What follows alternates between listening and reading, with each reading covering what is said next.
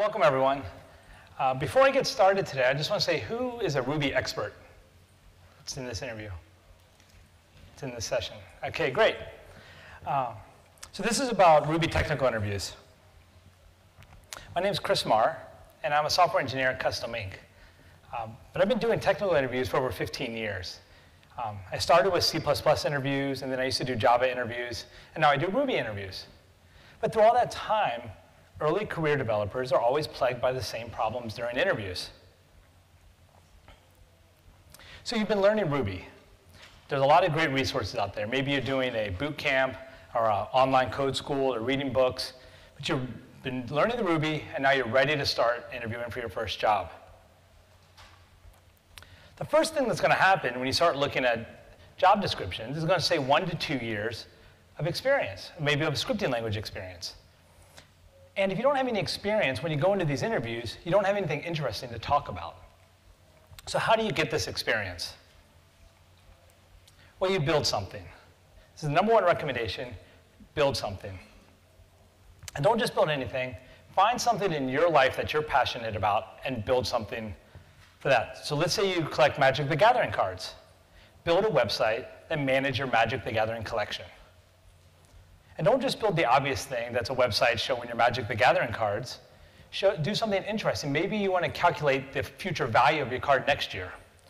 Write an algorithm that's interesting. And when you start doing this, reach out into the community and use some gems. So reach out into the Ruby community and find gems that help you solve your problems. If you only have time to pull in one gem, always pull in Devise. Every company you interview with is going to be using Devise. After you've, been, you've created this project on your laptop, you've been typing away, push it up to GitHub. If you haven't done this before, this is the cathartic moment where you're taking something you've created and you've pushed it out there for the world to look at. After you've pushed it up to GitHub, deploy it to something like Heroku. The reason you do this is to show that you can create something on your laptop and productionalize it and put it out there for everyone to use. Then you send this link along with your resume. And before we interview you, we're going to go look at that link and say, hey, this is great. I really like the way they put together this Magic the Gathering website. Then we'll say, oh, I wonder how they're calculating these future values. That seems like an interesting algorithm. So put one of these banners at the top, like go see it on, see my source code on GitHub. And we'll be able to go over to GitHub and we will take a look and see what you've done. Now, when you invite someone to your house, you usually will straighten up a little bit before they come over. Same thing with your source code. Clean up the code. Remove any commented out code. Make sure your indentation is nice and pretty before you invite people to come over to look at it. Now, one of the important skills of a developer is to be able to describe what they've built. There's a technique called rubber duck debugging. And this is where you keep a rubber duck on your desk. And if you get stuck on a problem, you take the duck and you describe the problem to the duck. And a lot of times the solution will re reveal itself during that process. Same thing here. Find a duck and describe what you've built to the duck. Practice describing what you've built to the duck. Then find some non-technical people in your life and describe your project to them. Maybe you can call your parents up, hey mom and dad, I built this great website. Remember all those Magic the Gathering cards you bought me? I've determined they're going to be worth thousands of dollars next year. Let me tell you how I did it. Then go to a local meetup group and find some technical people and say, hey, do you mind if I tell you about my project I built? See what questions they ask you. Okay, so all the learning you've done, the code school, the boot camps, and your passion project, that's going to fill about half a resume. The next thing you need to do to fill out the second half, the best way to do that is to contribute, and to contribute to open source. And here's the secret. Even if you don't feel like you know enough Ruby to contribute to some of these projects, every project needs documentation. And you say, well, that's not Ruby. How can that show what I can do in Ruby? Well, actually, if you were able to look at someone else's source code, understand it, and then document it, that's more difficult. And if you can create a pull request and work with the, engage with the project team to get the pull request pulled in, that's a great demonstration of your abilities. A friend of mine, and Kevin, he, he created what we call the most pedantic pull request of all time. he went around to a lot of big projects on GitHub and explained to them that they are using the EM dash for their range of years in their license instead of the grammatically correct EN dash. Super pedantic, but he got engaged with a lot of project teams, and now he's actually one of the top 10 contributors on Bootstrap. Now you can put together your resume. You have a lot of experience that you can put on it. Here's the secret. Most developers are lazy, and when you come in, we're just going to read straight down your resume asking you questions. So you have the opportunity to construct the conversation before you go in. So put in, I built this project, I read this book, I did this class, here's the projects I contributed to. And then you can practice that conversation before you even come into the interview. Speaking of practice, a technical interview is a lot different than writing Ruby on your laptop.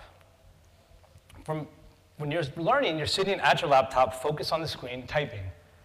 As soon as you come into an interview, the first thing we're going to do is we're going to say, here's a whiteboard marker. Please stand up on this whiteboard over here and solve this problem. And if you've never done that, that context switch can be disorienting. So find a whiteboard somewhere and practice solving problems on the whiteboard. While you're practicing, practice solving the problem, but also speaking while you're writing. So say, I'm going to create this array. I'm, now I'm going to iterate through the array. Remember, the whiteboard doesn't compile, so you don't have to write perfect source code. But don't sit there quietly. If there's nothing more awkward than we're staring at your back while you're quietly noodling a problem. After you've practiced solving some problems, some code, writing code on the whiteboard, practice your domain modeling. This is your box and line drawings. This is things like maybe active record models or Ruby classes and how they relate to each other, even SQL tables and how they relate to each other. This is how you, given a problem domain, how would you construct, the, how would you diagram the concepts? So for example, if I were to ask you, how would you model RubyConf? Oh, well, I would say there's a conference. The conference has many sessions. Each session has one speaker. Each session has many attendees. When you start writing on the whiteboard, most people tend to start in the upper left corner. And that puts you in a corner. You don't have any, any space if you have to make annotations or insert code. So always start in the dead center. That way you have space all around if you have to make insert annotations on your code. Now before you go in, you have to remember that Ruby is a community. So you need to understand what the community is doing and where the direction is going. You're already here at RubyConf, and that's a great start. And while you're here, make sure you find, figure out who the thought leaders are and go to their talks. Tenderlove just gave a great talk. Matz's talking on Wednesday, or sorry, Tuesday. Uh, but listen to these people, and if you don't have time to see them here, look at Confreaks. They've been talking all year at different conferences. And they're talking about the direction the community is moving. Another great resource to learn about the community are podcasts. There's many of them out there. I'm a host on Ruby 5, and every Tuesday and Friday, we give you a little, five minutes of news of what's happening in the Ruby community. But if you only have one to listen to, I recommend the Ruby Rogues. They've interviewed a lot of thought leaders and a lot of project leaders, and they have an amazing back catalog that's approachable to all levels. Know what's happening. Ruby 2.3, they just went into preview, and they're going to be talking about it at this conference. Nobody's really using this yet, but if you were to go into an interview, if you know what's happening, and maybe you could ask a nice question like, oh, what about the new navigation operator that's coming in Ruby 2.3? Are you guys thinking about using it? What do you think about that law of Demeter? How does that work? Maybe Rails 5. Maybe you're looking at, um, maybe you're thinking about Action Cable, the new WebSocket framework. Be, no one's using that yet, but you could ask them, hey, are you looking at using that? Now, at some point during the interview, they're going to ask you an innocuous question like, hey, what code editor do you use? Never ever say, I'll use whatever you want me to use. Always have an answer. You're talking to developers who spend all day long working in their editors, fine tuning them. They really care about the craft and the tools they use for the craft. I could start a war in this room by saying, all these Vim users over here, tell us why you do it faster than everybody else. So when they ask you, what editor do you use, whatever you're using, if you've been using Atom, say, I use Atom. I use RSpec. I use Cucumber. Whatever it is you're using, that's the tools you've chosen to use. I'm open to using new tools, but right now I'm using Atom. Now, most of you didn't raise your hand when I asked who's the Ruby experts, and that's good. A lot of people put Ruby expert on their resume. I'll tell you what happens. These resumes get handed out to the developers in the morning before you come in for your interview, and they all stand around and go, oh, this candidate's an expert. Let's see how much of an expert they really are. It sets the bar so high that you're going to fail before you even get to the interview. Now you're ready to come in and talk to us. So what are we looking for? I did a survey of some senior developers and said, what are you looking for for early career candidates? And these are what they said. They said, we're looking for curious minds, people with curious minds. We're looking for people who are coachable. Are they willing to enter into an agreement with a coach and learn and listen from a coach? Are they passionate? Are they passionate about Ruby, passionate about solving problems? And are they enthusiastic? What's the one thing they didn't say? Ruby experts. They're not looking for Ruby experts. So you're going to come in and you're going to talk to us. So who's going to conduct the interview? Well, the technical portion is typically handled by engineers. And what are we doing? Well, we're sitting at our desk, we're on our computer, headphones on, we're jacked into the matrix, we're typing, we're doing what we love, we're solving problems. Manager is going to come over to us, tap us on the shoulder, and say, hey, we have a candidate. Can you stop what you're doing, what you love to do, and go talk to this candidate over here? And of course we do it. That's part of our job. But we're going to get up and we're going to start walking over towards the room. And to think, what do we like to do? We like to solve problems. That's what we do all day long, is we solve problems. Manager comes to us, website slow. If you have a problem, yo, I'll solve it. That's what we do. And we build things. We love to build things. We like to sit at our computer building things.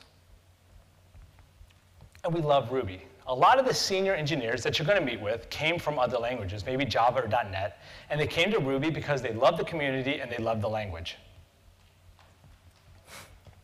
Now here's a tip. We want to hire you. Hiring is difficult. It's hard to find people, it's hard to get them into the interview, and it's stopping us from doing what we love. So if we can say, we can talk to you and then go to our manager and say, hire this person, then we're done doing the interview portion, and we get back to what we like to do. So we want to hire you. Now, when we get in there, I have one hour to decide. Will you help me solve problems? Will you and me be able to sit on a whiteboard and solve problems together? Then will you and I be able to go back, sit at our desk, and build the solutions that we've designed? Will it be fun building those? You don't have to know Ruby. I can teach you the Ruby. I had a lot of great mentors in my career that taught me things. And a Lannister always pays his debts. But I have to be thinking, it's going to be you and me for five years sitting together, solving problems and building things. I'm going to see you more than I see my spouse. And I have one hour to make this decision. So those are what I'm thinking about. But when we come out, my manager is going to come to me and say, how much Ruby does this candidate know? So we're going to have to do some Ruby questions. Every Ruby interview is going to revolve around enumerable. Almost all questions end up being around enumerable. So if you're new to Ruby, make sure you know enumerable. And if you only have time to learn a few things, make sure you know each map and inject. All questions probably will start within each map or inject. But if you have time, because it's so important, sit down, pull up IRB, pull up the API doc, and just write a little example for each one of the enumerable methods. Because you may find yourself in an interview with someone who's trying to trick you with an obscure enumerable question, and you'll be ready for that. If you're in for a Rails, for Rails job, make sure you know your active record associations. And the three, the three big ones are the has many, the belongs to, and the has many through. I guarantee you most questions somehow end up being the has many through or the classic has and belongs to many.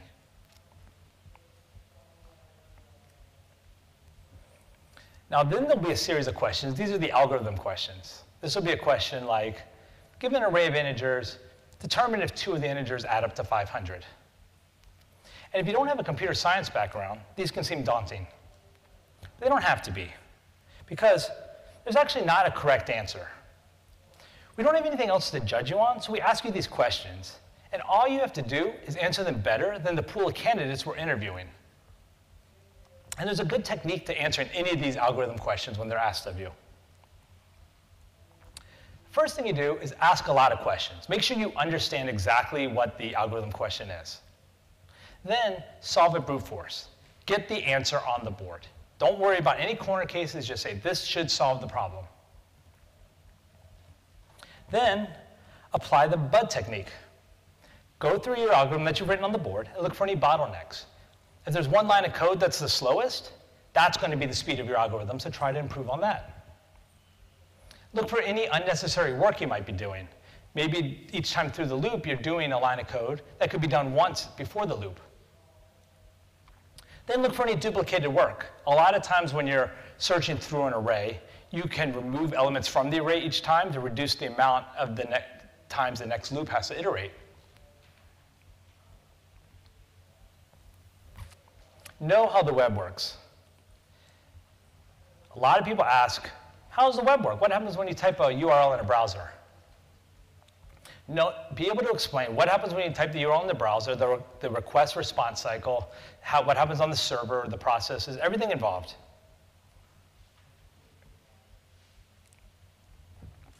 And then we come to the hard questions. These are the, the notorious interview questions that you've always heard about, like how many ping pong balls fit on a bus? Nobody cares how many ping pong balls fit on the bus. The point of the question is to ask you something in a problem domain that you're not used to and how you approach the problem. And there's a simple way to answer all these questions. You say, I have never thought about this. I've never thought about how many ping pong balls fit on the bus. But I would start with the smallest thing I do know. And what's that? Maybe the size of a ping pong ball. I can determine that a ping pong ball is maybe one inch by one inch. From there, you can build out and say, oh, okay, maybe I can figure out how much a cubic foot of ping pong balls is. Then you can kind of start estimating how many fit on the bus. Then ask questions about the problem. How big is the bus? How many seats are on the bus? Are there people on the bus? Is the bus moving? That's engineering. If any of these questions, the Ruby questions, the algorithm questions, these hard questions come up, and you get stuck, it's fine to say, I'm having trouble getting started on this problem. Turn to the interview and say, could we pair on this solution? Could you start on the whiteboard helping me head in the right direction, and I'll pick it up from there? Every developer loves to pair with people. Now, if these algorithm questions, you're still concerned and you want to be prepared, there's an easy 700-page book you can read before you go into the interview. This is actually a very good book, and she covers things like the bud technique. Now, at no point when you're asked a question during the interview, say, oh, I could just Google that. Of course you could Google that. I Google all day long. Most of my job is finding things on Stack Overflow and copying and pasting them over. But during, that's not the point of the interview.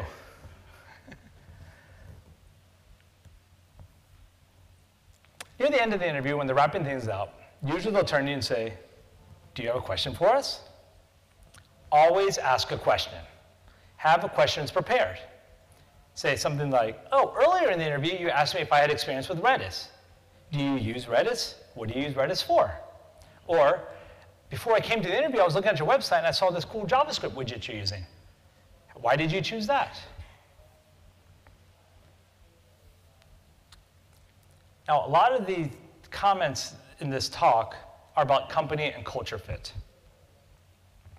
And not every company is going to be a good fit for you. But there will be a place for you. And remember, we want to hire you. So thank you.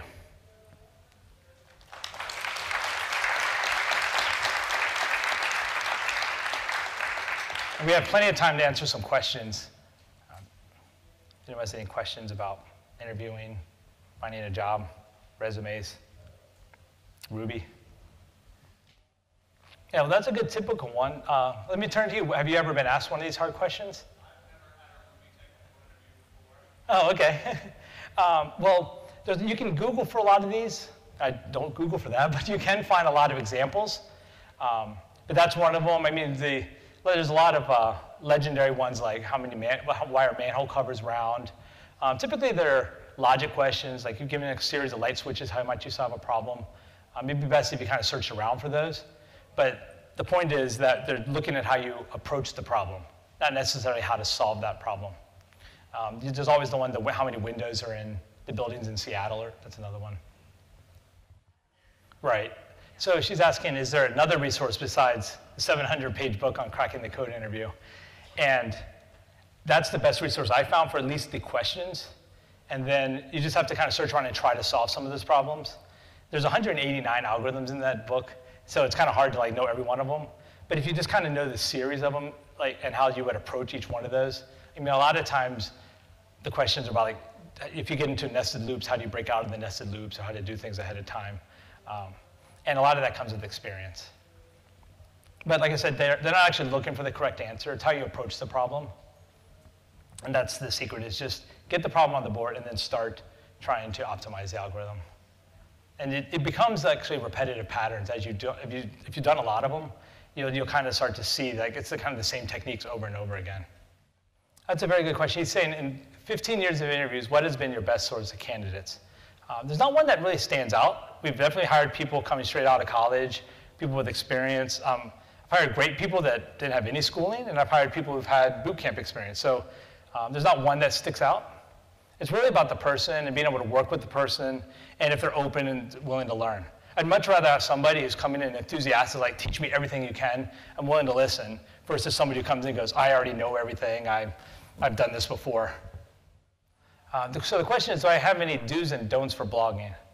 Uh, I would say do blog. It's a great resource. It gives you time to format some your thoughts.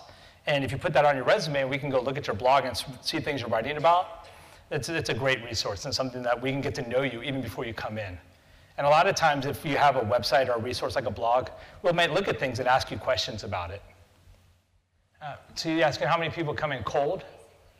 A cold call? Okay, yeah, if we get a cold resume, you have to remember we get hundreds of resumes, maybe a day. Like we get a lot of resumes. The ones that stand out are the ones who've kind of researched um, our company and maybe they write a nice cover letter to attach to the resume and to explain why they want to work specifically with us. Um, it really sticks out if you use a cover letter that is, we can tell that you're just sending it to all the companies. But if you have something that's kind of personalized for what we're doing, um, another secret is to go to local meetup groups like every developer in our that work with us, they actually go to a lot of the local meetup groups. And you can easily find someone and just make a connection, and then say, and you can CC them in the email when you apply. Yes, that's a great thing. So she's saying if in the cover letter maybe she saw something that she'd like to change or she can improve. And I think that's great. That's your you're looking at what we're you're solving the helping us solve the problems that we're trying to solve. And that's a great introduction into the company. I open source is great, especially in the Ruby community. I think it's a big part of our community is giving back. And even if it's just you're publishing your own gems or scripts onto your own GitHub, I think it's important. I feel, I think most people, especially if it's a senior engineer, we go through all their GitHub projects and like to comb through GitHub. That's actually more important than the resume. So get some stuff up there, just some examples. It's like your portfolio. Yeah, so the question is about giving homework to candidates before they come in. It's actually interesting because we've just iterated on what we used to do. So we used to come in and give you a cold problem and have you sit down and try to solve it on, for, spend one hour coding. We found we're getting better results though by sending that out early and say work on the problem.